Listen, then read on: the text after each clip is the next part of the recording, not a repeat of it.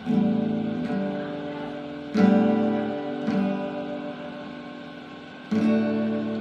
้าลูกแมวตัวน้อยเดินต้อยตามกำแพง